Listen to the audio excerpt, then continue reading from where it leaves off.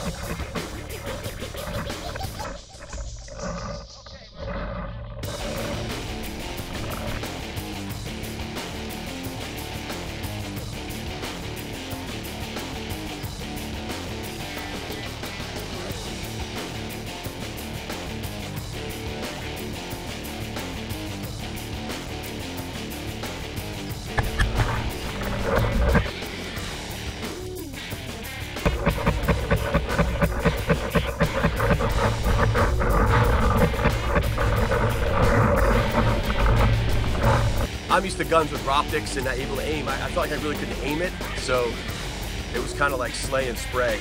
So, but it's fun. Show me your goggles. Ah, by the way, that's called that's what we call in the business shutting down the computer.